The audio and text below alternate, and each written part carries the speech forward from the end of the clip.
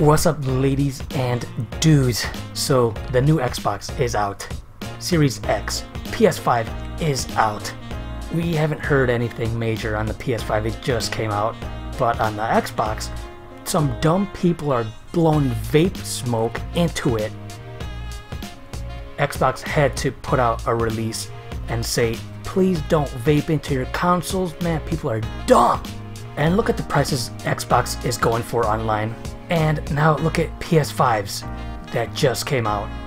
Oh my god, unreal. Holy crap. Actually, it's actually predicted that this was going to happen. All these scalpers, dudes.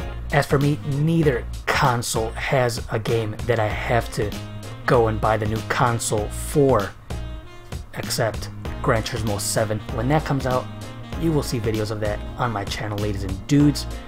When that game comes out, I will buy the PS 5.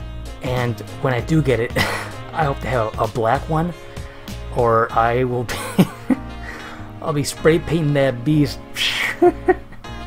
anyway, that's it. The Xbox is not smoking. It's dumb people blowing vape smoke. The PS5 just came out. They're both, all those consoles are selling for a lot of money. So far, neither console has a game that I have to get the console for. And yeah, I'll see you guys in the next video.